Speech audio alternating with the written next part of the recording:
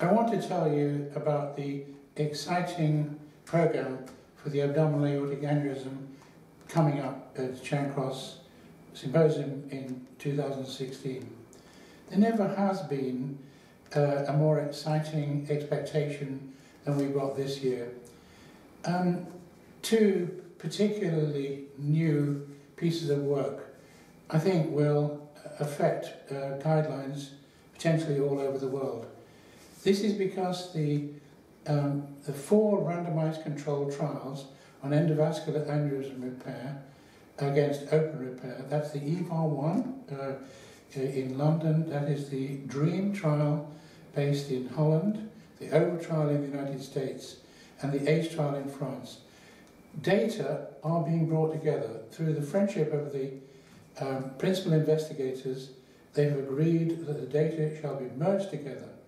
I'm happy to tell you that those data have been merged together, and of course they're slightly different, and it takes great skill to be able to do that. Unfortunately, at Imperial College with Professor Janet Powell and uh, Pinar Ulug, it has been possible to merge these together. They are currently being analysed at Cambridge University by Dr. Michael Sweeting, and the results of this merged data will be given in the individual patient data meta-analysis at the Charing Cross. Um, the, those who've done the merging and the principal investigators will be speaking the results, and that's the first time they'll be heard, and we hope they'll be published at the same time. The individual patient data meta-analysis will tell us about the first part of the follow-up of this new, novel uh, technique. Um, before EVAR, there was just open repair. Now we've had some 15 years experience of EVAR in randomized controlled trials, and the EVAR 1 trial, which was the first one out of the blocks, uh, will, uh, will have 15 year uh, data by the Charing Cross Symposium and will be given for the first time. So, would you believe it? The patients were average age of 74 years when they started the trial, um, and there will be a very considerable age at the end of it, and about half of the patients are alive. Just imagine how old some of those are. Perhaps we underestimated the length of time some of these patients would live, and it is now time to analyse just how the novel technique of endovascular aneurysm repair has fared against open repair. And remember, these are the first generation of devices. Um, I believe this will set the benchmark against which uh, we can compare more recent devices.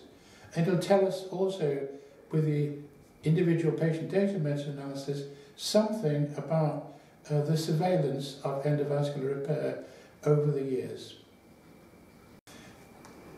The thoracic uh, aorta program at Charing Cross interests me considerably. Um, we've reached a time when the, it is possible to replace by endovascular techniques the whole of the aorta from the valve all the way down to the bifurcation of the abdominal aorta. Times are exciting. Devices are available. The question is, what is the mortality for these segments? What is the risk of spinal cord ischemia? And what is the risk of embolization to the brain? Um, we are going to be introducing an acute stroke challenge uh, section of uh, Charing Cross this time because of some embolization to the brain, which is with great regret occurring.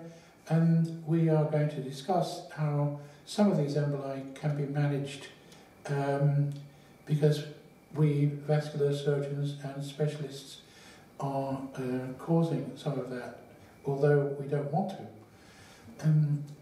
Another, another very interesting question in the thoracic section of the aortic program is that of dissecting aneurysm.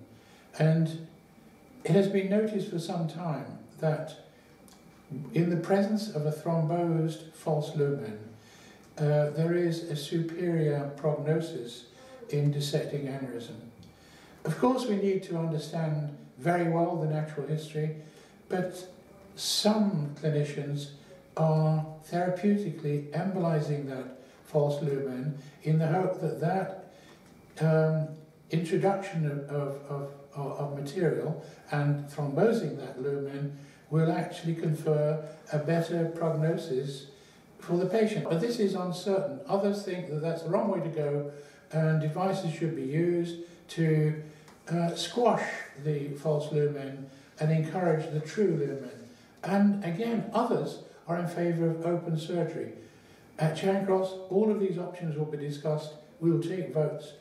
I do hope you will be there to help us sort out this conundrum.